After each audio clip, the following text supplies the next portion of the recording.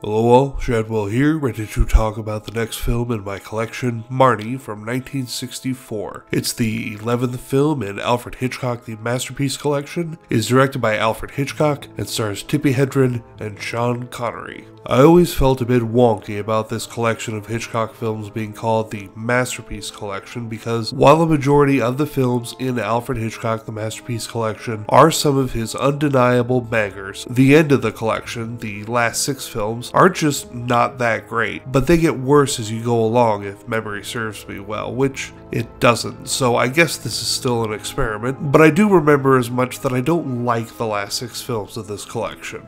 This all started with the last film, The Birds, which, again, I know a lot of people like, but it's just not my cup of tea. And now we continue the fall of Alfred Hitchcock, the Masterpiece Collection, with Marnie. However, whereas I can see what people like about The Birds, I can't see the same thing in Marnie. It's basically a movie about a man that blackmails a woman into becoming his wife. It's a movie where women are sex objects and men suck.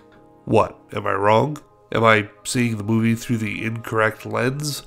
Please use the comment section to tell me I'm wrong that Sean Connery doesn't threaten to reveal Tippi Hedren's criminal wrongdoings unless she submits to him and to be his wife. Basically, it's pretty goddamn clear to me that this is what's going on in this film. The Internet Movie Database plot synopsis is Mark marries Marnie, although she is a habitual thief and has serious psychological problems, and tries to help her confront and resolve them.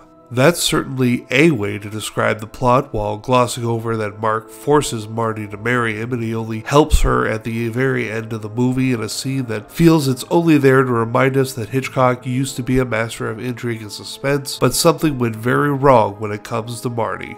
This film is a terrible piece of shit and I can't find anything redeeming about it. All I can find is more unflattering things to say.